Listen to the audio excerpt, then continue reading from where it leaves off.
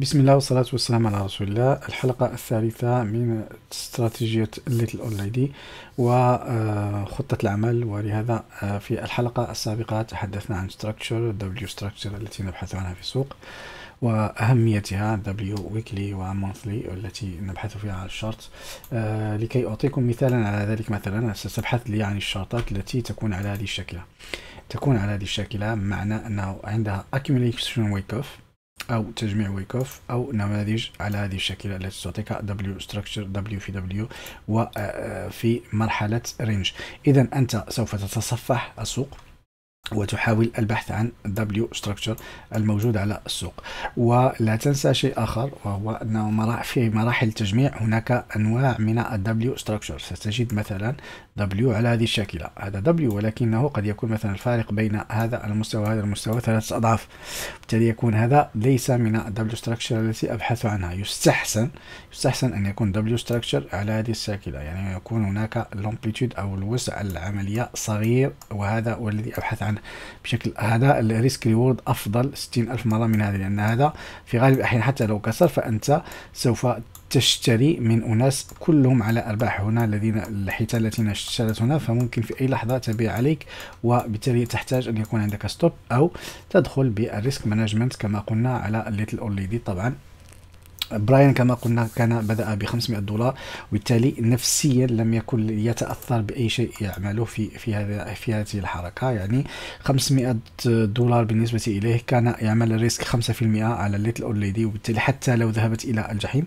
طبعا هو كان يستخدم technical analysis من أجل اصطياد العملات والتي تكون يعني في في قاع القاع بين قوسين والتي يرى فيها structure جيد و وهي ما سنتطرق إليه إن شاء الله في الحلقات المقبلة. لكن آه، أود التنويه على شيء مهم. على في خطة العمل يعني حينما تضع خطة تداول خاصة بك أو trading plan خاص بك. يعني يجب أن إذا كنت من عشاق الكتابة تضع الحافز من الحياة من التجارة التداول وتحديد الأهداف على نطاقات زمنية مختلفة long term كور تيرم يعني على المدى القريب على يعني المدى البعيد وهذه يجب أن تكون آه، ضمن آه، خطة عملك. بالنسبة للخطة الاستراتيجية التي تحقق يجب أن تحددها وهو أن تدع آه، تجعل روتين يومي أو أسبوعي لك يعني حسب وقتك وفراغك يعني تضع روتين مثلا ساعة في في الأسبوع أو ساعتين أو في حسب يعني خطتك طبعا وفي اليوم إذا كان عندك وقت طبعا وتأتي إلى العملات التي تكون تعطيك فرص مثل هذه يعني W structure آه، يكون على هذه الشاكلة وخصوصا يعني أنا آه، أقول لك ابحث عن الأزواج التي تعطيك W structure مقابل البيتكوين. يعني تذهب إلى أزواج BTC وليس USDT إلا إذا كنت فقط تريد استخدام استراتيجية USDT فلك حرية ذلك. يعني هذا لا يلومك لا يلومك عليه أحد. فقط أنا أقول لك يعني يستحسن أن تكون مقابل BTC. لماذا مقابل BTC؟ لأنه نظرتنا للسوق أن البيتكوين صاعد. البيتكوين يعني اتجاهه على السوق صاعد. وإذا كانت عملتك ال alt التي أنت تشتريها صاعدة مقابل البيتكوين بالتالي هي بطريقة أوتوماتيكية صاعدة مقابل الدولار وبطريقة أفضل يعني قدرة الصعود مقابل الدولار تكون أعلى. إذا كنت فعلا سوف تريد أن آه، تشتري عملة يعني ضعيفة مقابل بيتكوين يستحسن أن تشتري بيتكوين. إذا كان مثلا شرط العملة مقابل بيتكوين يعمل هكذا فولو كانت تصعد دولاريا فهذا لا هذا صعود فقط لصعود البيتكوين اذا فيستحسن لك أن تشتري البيتكوين. عوض أن تشتري هذه العملة لأن آه ال volatility على هذه العملة كبير جدا مقارنة مع البيتكوين. وبالتالي صعود البيتكوين يكون جيدا أما نزوله يكون أخف وأقل حدة من آه نزول ال shitcoin. وهذا يجب أن تأخذه بعين الاعتبار. ولهذا هذه الحلقة من أهم الحلقات لأنه سوف نتحدث عن ال risk management آه، خلال هذه الاستراتيجية. نتحدث عن كيفية تقسيم رأس المال لأن هذا السؤال جاءني أيضا على القناة في التعليقات. وكيف سنشتري مثلا المحفظة؟ إذا اشتريت كانت عندي ألف دولار واشتريت في المئة أو خمسة في المئة مثلا ما هو المبلغ الذي ما هو عدد الصفقات التي قد أشتريها؟ وما سنتطرق إليه إن شاء الله في هذه الحلقة. سأحاول أن أتطرق إلى هذه المواضيع. آه، لكي تبدأ ابحث دائما على البير مقابل البيتكوين وتبدأ أنت بتصفح العملات التي فيها W structure مثلا في بداية تأسيس W structure وتجميع Wyckoff. ما تشاء يعني حسب الاستراتيجية الخاصة بك. وحينما ترى أن العملة بدأت تعطيك هذه مثلا هذه العملة تعتبر حاليا جيدة. لاحظ أن الاتجاه صاعد تكون هذا تجميع Wyckoff جميل. آه، شرط أن نكسر هذا الأعلى ويستحسن مثلا هذه من العملات مثلا الأمثلة التي تظهر لك لأن هذه كونت قاع ثم انطلقت. هذا ال W structure الذي تشاهدونه تكون مع بداية التأسيس وهذا ال W structure الذي نبحث عنه يعني يكون في البدايات وليس بعد أن تطير العملة. حينما تطير العملة ليس هناك فرصة للدخول. ابتعد عنها وابحث عن عملة أخرى بديلة. هذا هو الأصل. يعني لا تبحث عن عملة إلا وفيها ال W structure جميل ويستحسن أن تكون يعني آه، قناصا بمعنى الكلمة لاختيار العملات في قيعانها وهو ما سأتطرق إليه إن شاء الله. آه، الشيء الآخر الذي وددت آه، الحديث عنه وهو أن هذا الروتين يجب أن يكون عندك وإدارة المخاطر. لأهميتها. هنا سنتحدث عنها والمخاطر النظامية. المخاطر النظامية أقصد بها le risque systémique ال crash الذي ممكن أن يكون على آه، كافة الأسواق. مثلا على شاكلات كورونا. آه، ولكي لا أخفيكم مثلا آه، صاحب هذا الكتاب Conquer Crash أو هذا من أفضل أو أعرق وأفضل شخص يعرف ويتقن Elliott Wave وهذه عنده مدرسة اسمها Elliott Wave International وهي الشخص الوحيد المخول له بالحديث تقريبا عن عن Elliott Wave لأنه هو من آه، عنده كتب حول ال Elliott Wave وهو من درسه وهو من يعني أعطاه عالم آخر يعني وهذا هو الكتاب الذي اشتريت أنا من من الموقع أيضا. هذا الكتاب إليوت الخاص بكونكير دو كراش عنده كتب أخرى خصوصا لإليوت وكيفية عمل الحسابات وهناك عنده يعني حتى آه، برامج تعليمية يعني لتحديد موجات إليوت إلى غير ذلك. المهم ليس هذا هو محور حديثنا. فقط أنا أردت أن أخبرك على أنه هناك إمكانية أن يكون risque systémique بمعنى أنه أن يكون عندنا crash على شكل كوفيد وحينما نتحدث عن crash كوفيد نتحدث عن حركة مهمة جدا لأنه خلالها خلالها هذا ال crash. يعني بمعنى لو عدت بالتاريخ أيضا. ستلاحظ مثلا أنه هناك عملات مثلا حتى البيتكوين أنذاك كون لك تخيل أنه كون لك W structure جميل جدا ثم طار وانطلق ثم عمل الكراش. إذا فيجب أن يكون هذا داخل ضمن السيناريو الخاص بك. بمعنى إما أن يكون عندك طريقة تقليل مثل هذه المخاطر. هل آه، نحن في في بعيدين عن آه، هكذا حوادث؟ لا. السوق ممكن يعمل أي شيء آه، مثل هذه الحركات. فأنت لكي تتجنب هذا وهو ما سوف تفعله من خلال إدارة المخاطر الخاصة بك. طبعا كما قلنا لاستراتيجية ال Lady هي ليس لها هذا البرنامج بهذه القوة ولا هذه إدارة المخاطر بهذا الشكل. هي فقط Little Old Lady تضع آه، جزء بسيط من الكمية لا يتجاوز 5% أو تقسم تضع stop لكي لا يتجاوز 5% من المحفظة. أقصى شيء هو هذا وتدخل في صفقات من خلال location momentum structure أو ما شابه يعني فقط من خلال إما ال fundamental أو يعني إذا كان عندك تحليل أساسي وتتقن التحليل الأساسي طبعا. ولديك بحث عن ال market cap وعندك الأمور تتقنها من ال DeFi وغيرها.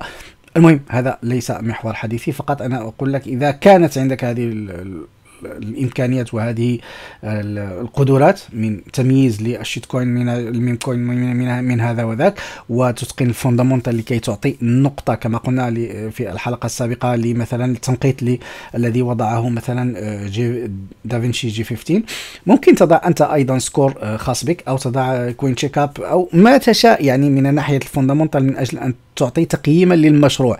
مثلا أنت تبحث من خلال تليجرام خاص بهم من خلال GitHub الخاص بهم من خلال الموقع الخاص بهم white paper هذا كله في البداية كنت أعمله ولكن يعني تركت هذا جانبا لأنه بالنسبة إلي مضيعة للوقت إذا كان ال fundamental جيد أريد أن أرى ال technical جيد يعني ال chart يكون جيدا وحينما أرى أنه هناك hype على عملة معينة معينة أو مشروع معين آنذاك أنظر إلى ال chart إذا تماشى ال chart مع ما سمعته عن المشروع آنذاك أنظر آه، إلى إلى إمكانية الدخول في الصفقة مع مراعاة إذا كان المشروع فيه شبهة أو ما شابه. لأن أبحث آه، هكذا يعني قبل أن أدخل في العملة. باختصار لأن قلنا أنه risque systémique ممكن يكون لك. كيف تتجنب هذا؟ هذا هو محور الحديث. كيف يمكن أن نتجنب مخاطر على هذه الشاكلات كورونا؟ آه، أول شيء آه، خذ على عين الاعتبار حاليا نحن بعيدون نسبيا على هذا آه، لسبب بسيط. هو مثلا عندنا الاس بي 500 بين قوسين عمل قمة جديدة يعني فنحن في قمم جديدة وليس في قيعان. إذا فكراش كورونا كان هنا كان على هذه الشاكلة يعني كان في حركة سريعة قوية واضحة كانت من خلال أيضا المومنتوم الذي جاء آنذاك من أجل أن يذهب بالسوق إلى أسفل سافلين. أنا في قاع كورونا. أما الوقت الحالي عفوا سوف نذهب إلى قاع كورونا. لاحظ أنه في الشاط هنا هذا الجاب الذي أعطاك هذه الفرصة. هذا الجاب القوي هناك يدل على شيء غير اعتيادي. فهذا كان يدل مثلا على أنه هناك شيء ما يطبخ. فحركات مثل هذه تعطيك هذا ال alert. حاليا ليس هناك هذا ال alert لأول شيء. ثاني شيء عندي إشارات قوية على بعض ال stocks ومن قبيل إنفيديا وغيرها.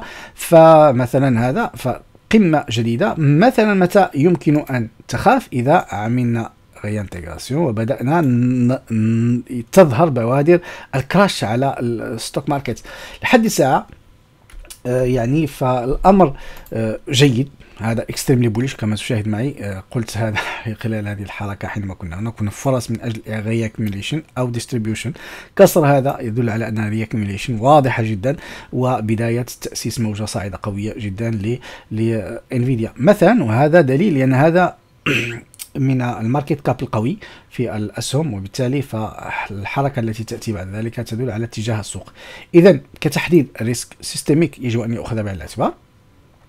ولهذا آه، لهذا يجب أن يكون تقسيم المحفظة. لماذا أنا آه، أدرسك حاليا Little Old Lady مع اضافاتي الخاصة يعني ومع خبرتي مع تجاربي.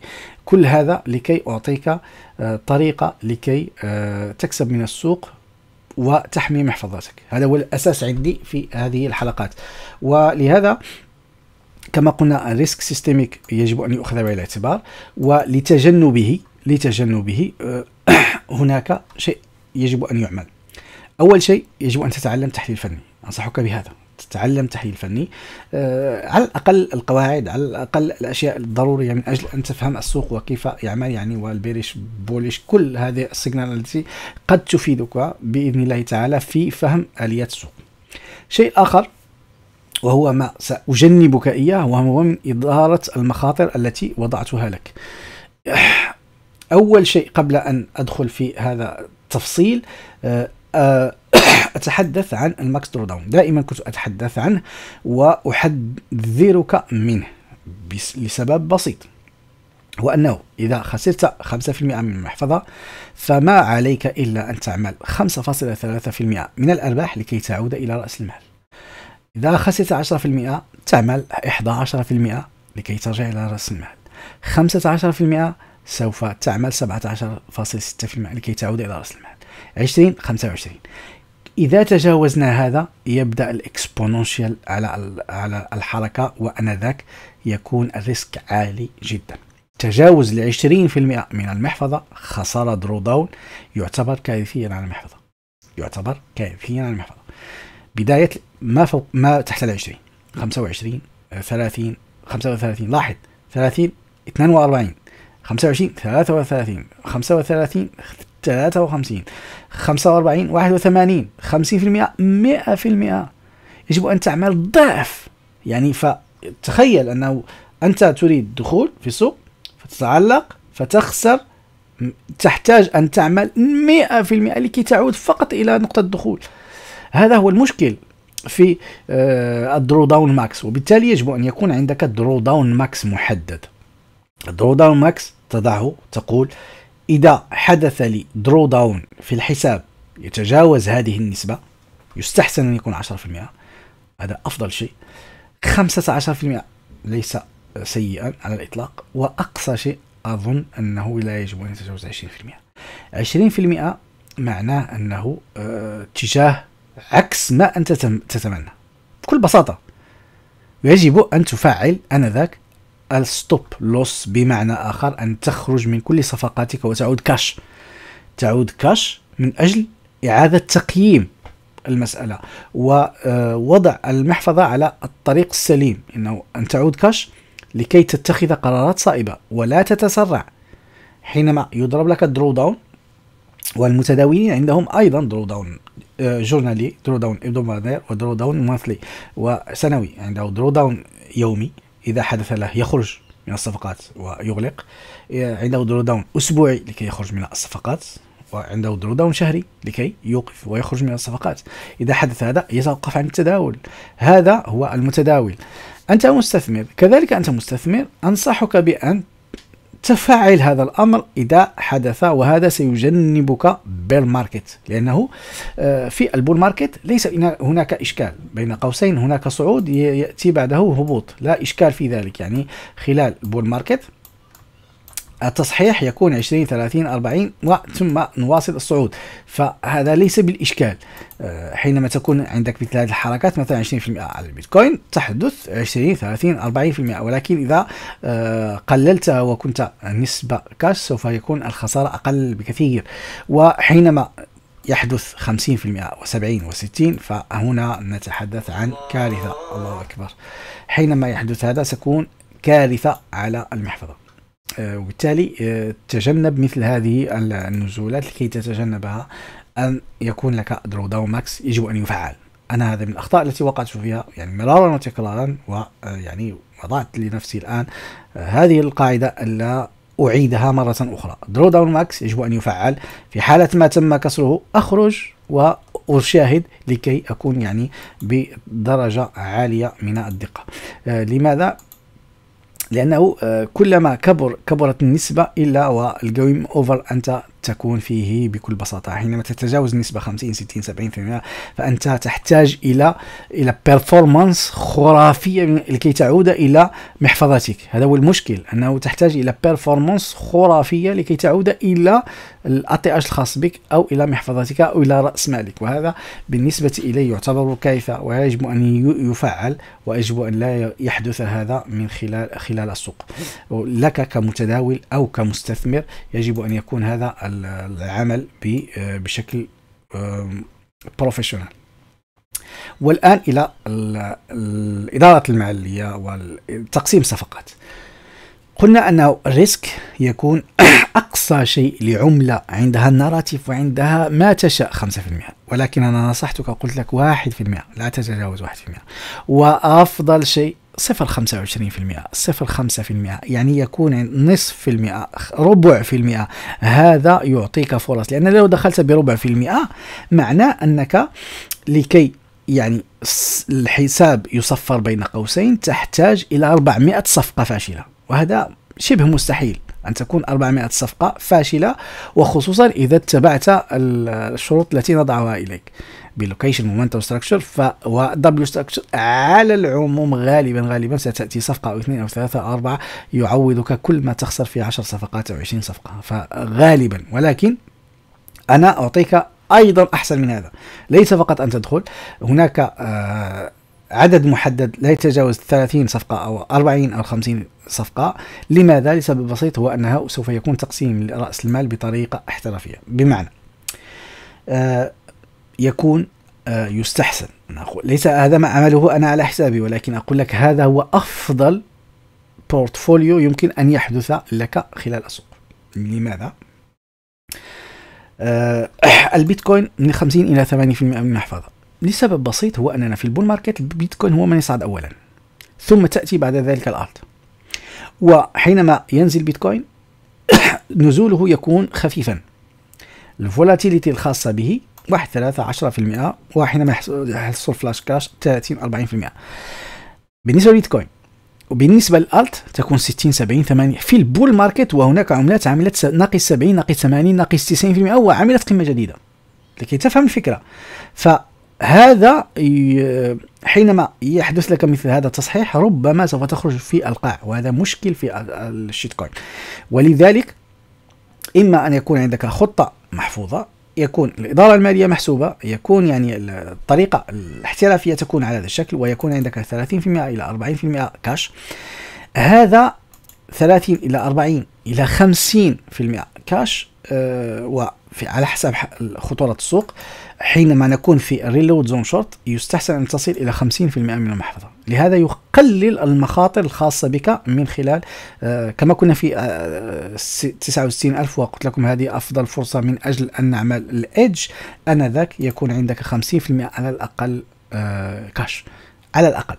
50 إلى 70% كاش في مناطق ال reload zone short التي خاصة بالبيتكوين طبعا في السوق عموما يعني حينما يكون يعني مثل هذه الحركات. لكن الآن نتحدث عن الآن في بداية bull market.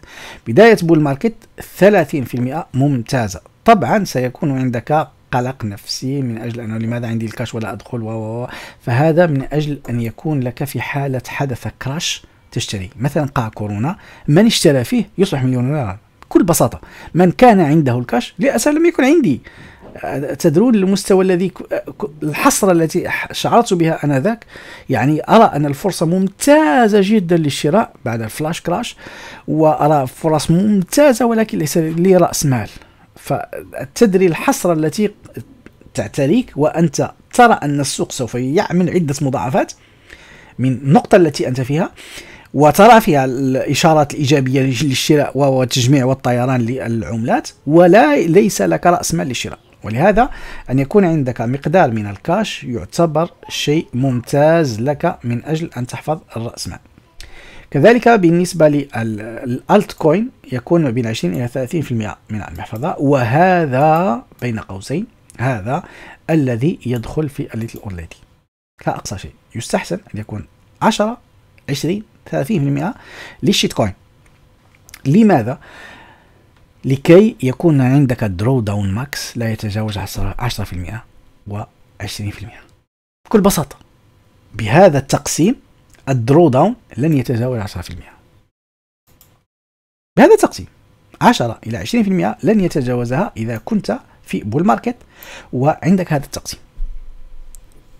هذا هي النصيحة التي قد يمكن أن أقول لك آه بكل بساطة بالنسبة كما قلنا لل shitcoin قد تصل 30 40 60 70 أنا 30 إلى 70 هي أخطأت هنا. 70% رأيتها على عملات وحدث أكثر من 70% أعطيك مثال كي لا أتحدث من فراغ. أنا أذكر مثلا عملة أذكرها جدا عملات فيتش. هذه من العملات القوية التي تعرفونها والتي طارت الآن في السوق وأنا سبب خروجي هنا. قلت لك لأنه في مرحلة تقسيم رأس المال خرجت من الصفقة التي اشتريتها هنا وخرجت كليا من الصفقة وتركت الباقي الاستثماري فقط. بالنسبة للعملة لاحظ أننا كنا في هذا ال bull market. هذا bull market كان في بداية W structure ثم طارت العملة. ولاحظ مثلا هنا ماذا عملنا. ناقص 83% وعملنا قمة جديدة بعدها. لم يمنع من عمل ستة أضعاف من بعدها. يعني يستحسن حينما ترى أنه العملة بدأت تعطيك M structure خروج. ببساطة أخرج. daily weekly أخرج. وانتظر التصحيح لكي خصوصا إذا كنت على عدة مضاعفات وعدة أرباح أخرج. هذه القاعدة التي تعلمتها من السوق أخرج.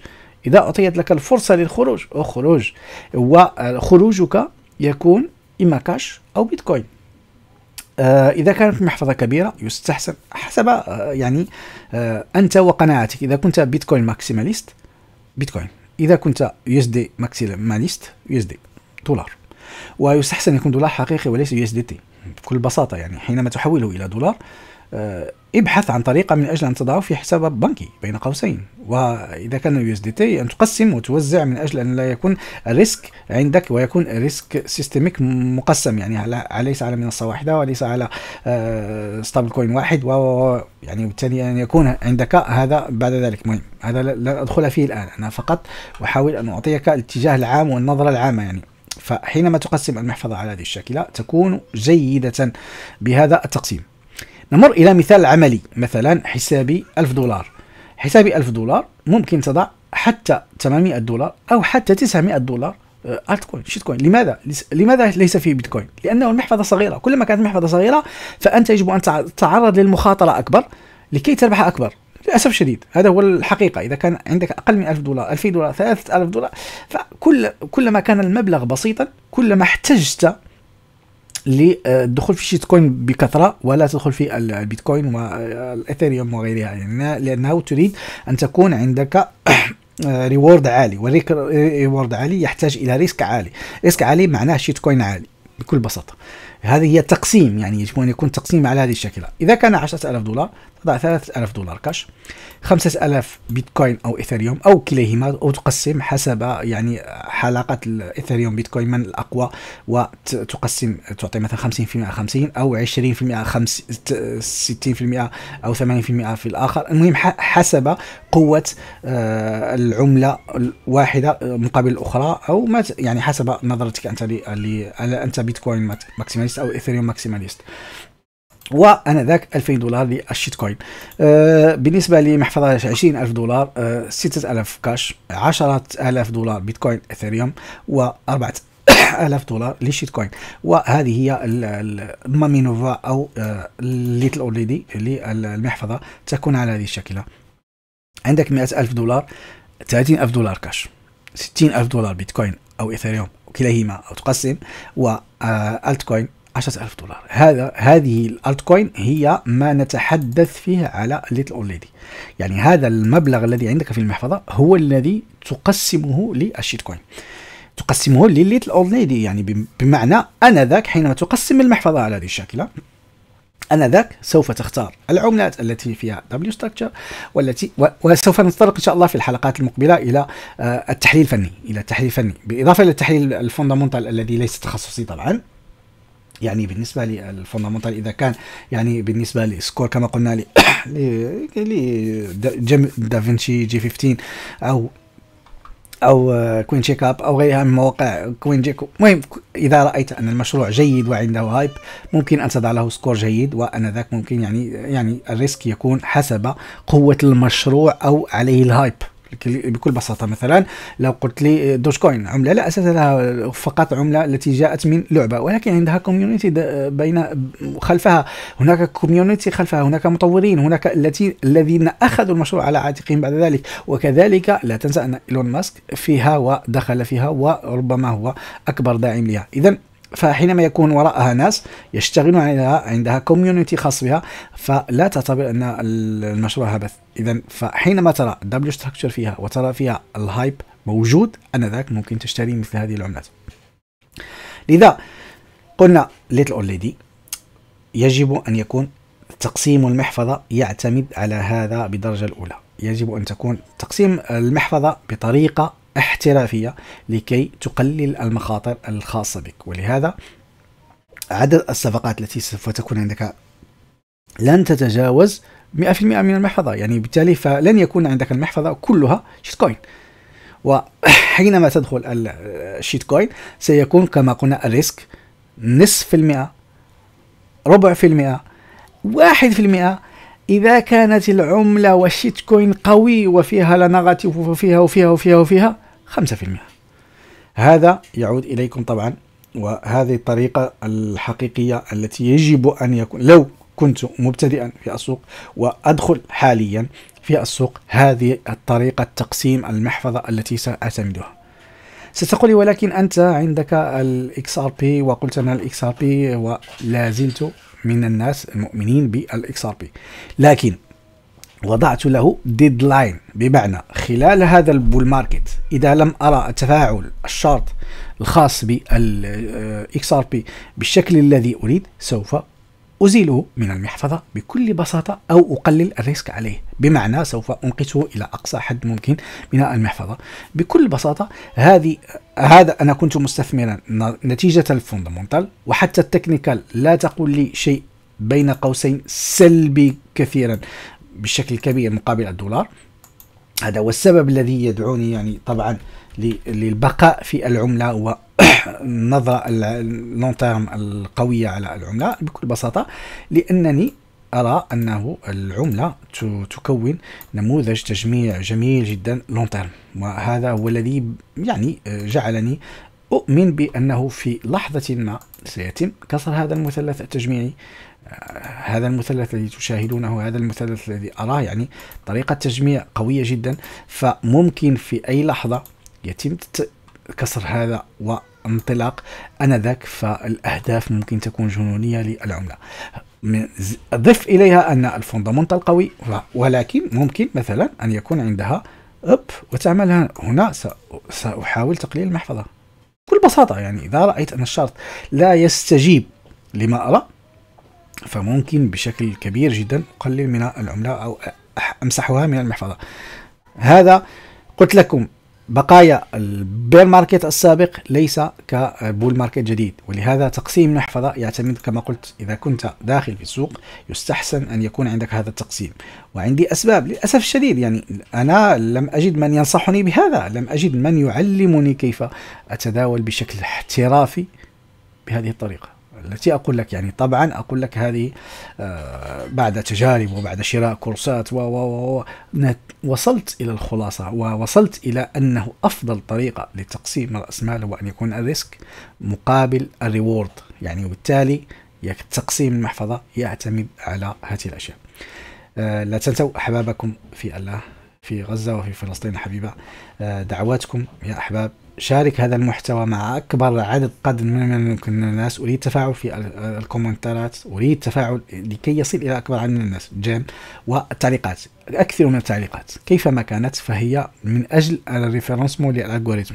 أريد تفاعل على الألغوريثم. أريد أن أرى تفاعل على المحتوى الذي قلت لكم أنني دفعت فيه أموال باهظة من أجل أن يصل إليكم بأفضل طريقة ممكنة. بالله عليكم. لا تبخسوا لا تبخلوا على مشاركة هذا المحتوى مع أكبر قدر من الناس الذين مهتمين بهذا المجال. أه انصحوا إخوانكم وأرسلوا لهم هذا المحتوى لكي يشاهدوه فهو على قدر عالي من الأهمية. وانتظروا الحلقات المقبلة وفعلوا جرس التنبيهات سوف تأتيكم الحلقات تباعا بإذن الله تعالى. أستودعكم الله الذي لا تضيع ودائعه. والسلام عليكم ورحمة الله وبركاته.